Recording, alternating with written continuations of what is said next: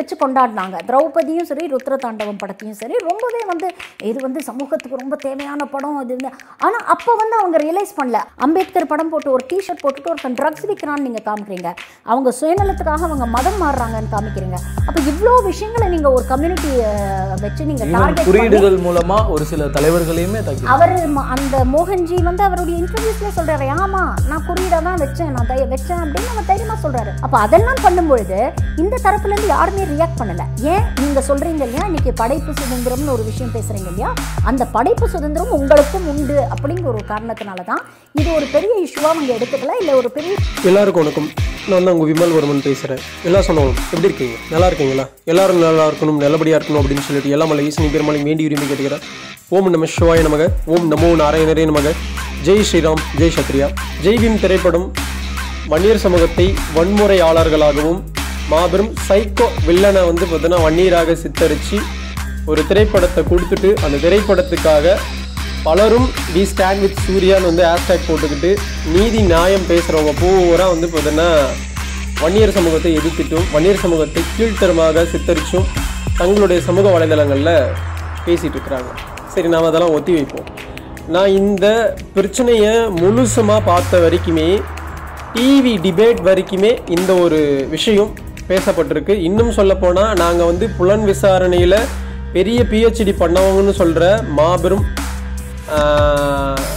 சமூக செயல்பாட்டாளர்கள்னு சொல்லிக்கலாம். இல்லை வந்து பார்த்தீங்கன்னா பத்திரிகையாளர்கள்னு சொல்லிக்கலாம். அவங்க எல்லாருமே இந்த ஒரு அலிகேஷனை வன்னியர் சமூகத்தை நோக்கியும் மோகன் அவர்களை நோக்கியும் வ- வச்சிட்டே இருந்தாங்க. என்ன அலிகேஷன் அப்படின்னா ஒரு வெறும் கேலண்டரை மாட்டினதை வந்து பார்த்தீங்கன்னா நீங்கள் இவ்வளோ தூரம் வந்து பார்த்தீங்கன்னா கொந்தளிச்சு இதை எதிர்க்கும் மனப்பான்மையில் நிற்கிற வன்னியர்களும் பாட்டாளி மக்கள் கட்சியும் உங்கள் சமூகத்தை சேர்ந்த மோகன் அவர்கள் ஒரு சமூகத்துடைய பையனை அம்பேத்கர் டிஷர்ட் போட வச்சு அவனை கஞ்சா விற்கிற மாதிரி ஒரு சீன் வச்சு அதை நீங்கள் பார்க்கும்போது வந்து பார்த்தீங்கன்னா யாருமே வந்து அந்த விஷயத்த நீங்கள் கேட்கவே இல்லை அப்படின்னு சொல்லிட்டு இல்லாத ஒரு விஷயத்த கட்டமைக்க முயன்று அந்த கட்டமைச்சு டிவி டிபேட்டில் வந்து பார்த்தீங்கன்னா பங்கேற்கிற இடதுசாரி சிந்தனை கொண்ட பலர் வந்து பார்த்தீங்கன்னா இதே கேள்வியை முன்வைக்கிறீங்க.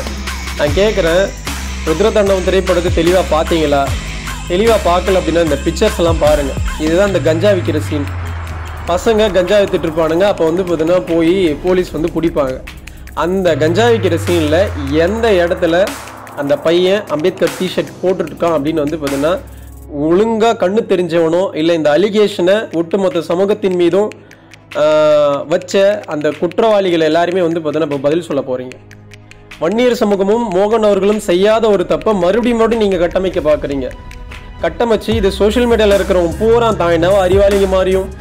தான் என்ன வந்து பார்த்தீங்கன்னா பேசுறது பூரா வந்து பார்த்தீங்கன்னா பெரிய பிஹெச்டி பண்ண மென்டாலிட்டியில் ஆமாம் அம்பேத்கர் டிஷர்ட் போட்டு வந்து பார்த்தீங்கன்னா ஒரு பையனை வந்து பார்த்தீங்கன்னா தப்பாக காட்டும் போதெல்லாம் அக்னி குஞ்சுகள்லாம் வந்து வாயை மூடிக்கிட்டு இருந்தானுங்கள்ல ரசிச்சானுங்கள்ல இதையும் ரசிங்கடா அப்படின்னு வந்து பார்த்தீங்கன்னா கிரஞ்சு பண்ணுற இந்த மாதிரி பசங்கள்லாம் பார்க்கும்போது நம்மளுக்கு சிரிப்பு தான் வரும். உண்மையாலுமே இந்த பசங்களுக்கெல்லாம் அறிவு இருக்குதா? அறிவு இல்லாமல் வந்து பார்த்தீங்கன்னா இந்த விஷயங்களை செய்கிறாங்கன்ற கேள்வியெல்லாம் நமக்குள்ள பயங்கரமாக எழுந்துக்கிட்டே இருக்குது. நான் என்ன சொல்ல விரும்புகிறேன் அப்படின்னா இல்லாத ஒரு விஷயத்த உண்மை அப்படின்னு கட்டமைக்கிற ஒரு சிந்தனை இருக்குது தெரியுங்களா? அதுதான் மிகப்பெரிய திருட்டுத்தனம். அந்த திருட்டுத்தனத்தை தான் சூர்யா அவர்களும் செஞ்சார். சூர்யா அவர்களை ஆதரிக்கிறோம் அப்படின்னு சொல்லிக்கிட்டு வன்னியர் சமூகத்தின் மீதான வன்மத்தை வைக்கும் ஒவ்வொருத்தரும் செஞ்சுட்டு இருக்கீங்க. ஸ்டாண்ட் வித் சூர்யான்னு வந்து பார்த்தீங்கன்னா போடுற ஒவ்வொருத்தருக்கும் நாங்கள் சொல்லிக்கிற ஒரே ஒரு விஷயம். அதாவது பொது மன்னிப்பு கேட்காத வரைக்கும் இந்த பிரச்சனை ஓயாது. புரியுதுங்களா இல்லைங்களா? இந்த பொது பிரச்சனையில் மோகன் அவர்களை தாக்கியும் மோகன் அவர்கள் எடுக்காத ஒரு சீனை வந்து பார்த்தீங்கன்னா எடுத்தாருன்னு வந்து பார்த்தீங்கன்னா கட்டமைக்கிற மனப்பாங்கும் மன விஷயமும் இருக்குது தெரியுங்களா? இதை விட கேவலம் எதுவுமே கிடையாது. இதை விட வந்து பார்த்தீங்கன்னா மனுஷனுக்கு கேவலமான சிந்தனை எங்கேயுமே வராது. ஒரு சமூகத்தை எதிர்க்கும் துணிவு இல்லாத பலருக்கு இந்த ஒரு விஷயத்தை வச்சுட்டு ஓடிட்டு இருக்கிறானுங்க. காரணம் என்னன்னா அம்பேத்கர் அப்படின்ற ஒரு மா மனிதரை இந்த இடத்துல வந்து பார்த்தீங்கன்னா தப்பாக போர்ட்ரேட் பண்ணிட்டு இருக்கிறாங்கன்னு அப்படின்னு மோகன் அவர்களை வச்சு சொன்னோம் அப்படின்னா பொதுவாகவே வந்து பார்த்தீங்கன்னா அம்பேத்கர் அவர்களை நேசிக்கிற எல்லாருமே வந்து பார்த்தீங்கன்னா நமக்கு சப்போர்ட்டிவாக வந்துருவாங்கன்ற ஒரு மனப்பாங்கில் வந்து பார்த்தீங்கன்னா இந்த விஷயம்லாம் பண்ணிட்டு இருக்கிறாங்க. இந்த டிவி டிபேட் வரைக்கும் போயிட்டு அலிகேஷன் வைக்கிற இந்த குப்பைகளுக்கு எல்லாருக்கும் நான் சொல்லிக்க விரும்புகிறேன் ருத்ரதாண்டம் திரைப்படத்தில் அப்படி ஒரு சீன் வைக்கப்படலை. அப்படி ஒரு சீன் வந்து பார்த்தீங்கன்னா வைக்கப்பட்டிருக்கு அப்படின்னா காட்டுங்க. இந்த சீன் தான் கஞ்சா வைக்கிற சீன் இந்த கஞ்சா வைக்கிற சீனில் எந்த இடத்துலையும் அம்பேத்கர் டிஷர்ட் அவர்களை போட வைக்கல அந்த பசங்களையும் போட வைக்கல. அதனால் இப்படி ஒரு கட்டமைப்பை உருவாக்கி இதை உண்மைன்னு வந்து இப்போ நினச்சிக்கிட்டு பேசிகிட்டு இருக்கிற அந்த மக்களுக்கு கண்டிப்பாக கண்ணு தெரியும் அப்படின்னு நினைக்கிறேன். கண்ணு தெரிஞ்சால் மறுபடியும் போயிட்டு ருத்ரதாண்டவம் திரைப்படத்தை மறுபடியும் மறுபடியும் பாருங்கடா. சரிங்களா? பார்த்துட்டு அப்புறம் அலிகேஷன் வைங்க அது பெட்டராக இருக்கும். ஜெய்பீம் திரைப்படத்தை பொறுத்த வரைக்கும் திரைப்படம் வலுவான விஷயத்தை பேசியிருக்குது. அதை பற்றி எங்களுக்கு எந்த கவலையும் கிடையாது. ஆனால் வலுவான விஷயத்தை பேசின திரைப்பட குழு சைக்கோ வில்லனை வந்து பார்த்தீங்கன்னா சித்தரித்து அந்த சைக்கோ வில்லன் வந்து பார்த்தீங்கன்னா மாற்றொரு சமூகம். அந்த மாற்றொரு சமூகத்தை வந்து பார்த்தீங்கன்னா வன்னியர் சமூகமாக காட்ட வேண்டிய நிர்பந்தம் என்னென்னா வந்து பார்த்தீங்கன்னா நாங்கள் இது வரைக்கும் ஒரு ஜஸ்டிஸ்க்காக வந்து பார்த்தீங்கன்னா கேட்டுட்ருக்கோம் அந்த ஜஸ்டிஸை பற்றி ஒருத்தனும் பேச மாட்டேங்கிறீங்க. எவனுக்குமே அந்த ஒரு வாய் வரமாட்டேங்குது. அப்படி வராத பட்சத்தில் வன்னியர் சமூகம் மீண்டும் மீண்டும் தன்னிச்சையாகவே எங்களுக்கான நீதியை நோக்கி வந்து பார்த்தீங்கன்னா நாங்கள் ஓடிக்கிட்டே தான் இருக்க போகிறோம் திரைப்பட குழுவும் தயாரிப்பு நிறுவனமும் இதுக்கு பகிரங்கமாக பொது மன்னிப்பு கேட்காத வரை இந்த பிரச்சனை நீளும் நீண்டுக்கிட்டே இருக்கும். இதை நம்ம பசங்க புரிஞ்சுக்க பாருங்கள் ஏன் அப்படின்னா இல்லாத ஒரு விஷயத்தை கட்டமைக்கும் போது அப்படிலாம் ஒரு சீனே கிடையாதுடான்னு வந்து நம்ம பசங்களும் பேசுங்க. இப்படி ஒரு அலிகேஷன் எவனாவது வச்சுக்கிட்டு திரிஞ்சானுங்கன்னா அவனுங்களுக்கு இந்த பதிலை கொடுங்க. இப்படி ஒரு சீன் வந்து இப்போ இந்த படத்தில் இல்லை இல்லாத ஒரு பொய்யை பேசிக்கிட்டு தெரியறதுக்குலாம் வந்து பார்த்தீங்கன்னா நீங்கள் மானங்கெட்டு போய் வாழ்வாங்க அப்படின்னு சொல்லிட்டு அவங்கள கேட்கலாம். தப்பு கிடையாது. இதுக்கு பேரெலாம் வந்து பார்த்தீங்கன்னா கண்ணுக்கு எதிராக வந்து பார்த்தீங்கன்னா திருட்டுத்தனம் பண்ணிக்கிட்டு நாங்கள் தான் யோகியர்கள் சொல்லிக்கிற ஒரு ஒரு ஒரு எண்ணம் அது. அந்த எண்ணத்தை வந்து பார்த்தீங்கன்னா வன்னிய சமூக பிள்ளைகள் முக்கியமாக சமூக இளையோர்கள் வந்து பார்த்தீங்கன்னா உடைக்கணும்.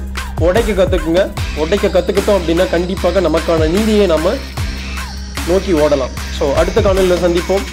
கண்டிப்பாக ஜெய்பீம் திரைப்படத்துடைய பிரச்சனை பொது மன்னிப்பு சூர்யா கேட்காத வரை எவ்வளோ பெரிய ஆட்கள் இந்த பிரச்சனைக்குள்ளே வந்தாலும் சரி பொது மன்னிப்பு கேட்டால் மட்டுமே இந்த பிரச்சனை ஓயும்.